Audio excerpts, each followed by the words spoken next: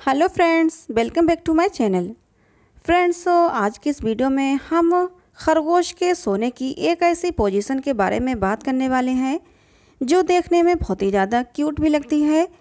उस समय हमारा खरगोश बहुत ज़्यादा प्यारा लगता है, लेकिन कुछ रैबिट ऑनर अपने खरगोश के सोने की इस पोजीशन से डर जाते हैं। तो आज की इस वीडियो में मैं आपको यही बताने वाली हूँ कि खरगोश के सोने की इस पोजीशन को क्या कहते हैं और खरगोश जब ऐसे सो रहा होता है तो खरगोश के इस तरह सोने का क्या मतलब होता है? और इस तरह सोते हुए खरगोश क्या फील करता है?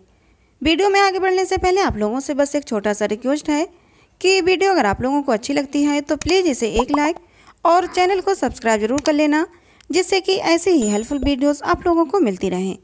चलिए बढ़ते हैं वीडियो में आगे। तो खरगोश के इस तरह सोने की पोजीशन को खरगोश के फ्लॉप पोजीशन कहते हैं।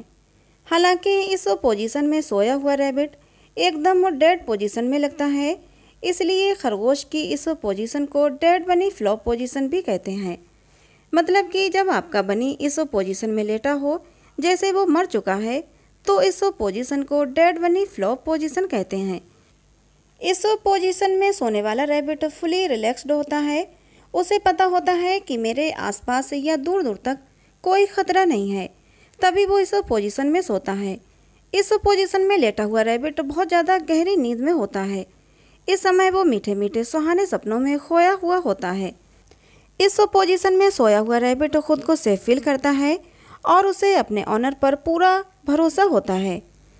बट ये पोजीशन रैबिट के लिए सेफ़ पोजीशन नहीं होती है। रैबिट की इस पोजीशन में रैबिट के प्रीडेटर्स बहुत ही जल्दी उसका शिकार कर सकते हैं। क्योंकि इस समय रैबिट पूरी तरह अलर्ट नहीं होते हैं, उन्हें हालात को समझने और संभलने में थोड़ा समय लग जाता है, और इतने में कोई भी शिकारी जानवर उनका शिकार कर सकते हैं। बट इस पोजीशन में रैबिट तभी सोते हैं, जब वो फुली सेटिस्फाइड होते हैं कि वो बिल्कुल सेफ़ हैं। अगर आपका रैबिट आपके आसपास ऐसे सो रहा है, इसका मतलब है वो आप पे बहुत ज़्यादा भरोसा करता है कि आप उसे कुछ नहीं होने देंगे।